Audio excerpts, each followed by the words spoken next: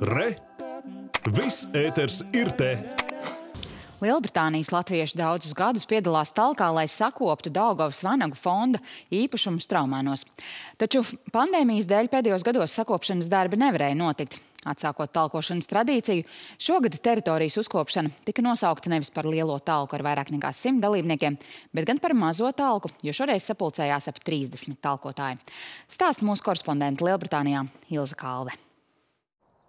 Teja 9 hektārus lielā 19. gadsimta lauku mūža Vidusanglijā tika iegādāta 1975. gadā trimdas latviešiem no darba brīvajā laikā, gan sakārtojot teritoriju, gan uzceļot papildu sēkas. Mūsdienās latviešu īpašumu uzkopšanā labprāt piedalās tie, kuri ieradušies Lielbritānijā salīdzinoši nesen, jo talka ir iespēja satikt citus latviešus, kā arī pavadīt laiku brīvā dabā nevar to aprakstīt. Ir jābūt šeit, lai tu to visu piedzīvotu. Latviešu mūzika, latviešu cilvēki strādājam, cepam gaļu pēc tam, atpūšamies, padējo, padzied. Nu, vienkārši super.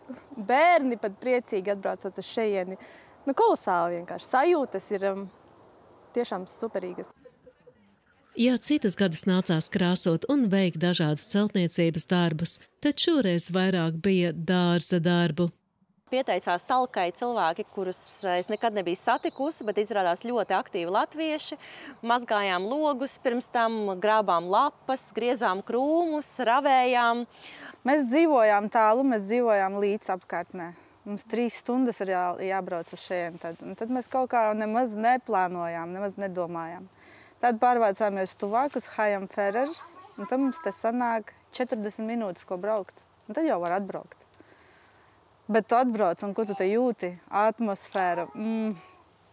Tu ej un daries, un tā sajūta, un te tā daba, tā kā Latvijā sajūtas ir. Īpaša uzmanība tika pievērsta teritorijas sakārtošanai ap Baltiešu bloku un kafejnīcu Rīga, jo tur notiek latviešu kolektīvu mēģinājumi un svētdienas skoliņa bērniem. Patiesībā darba bija pilnas rokas.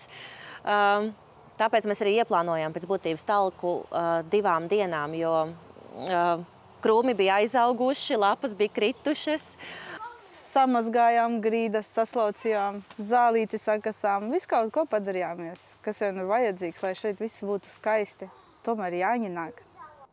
Nākamais lielais pasākums Traumēnos būs Jāņu festivāls trīs dienu garumā.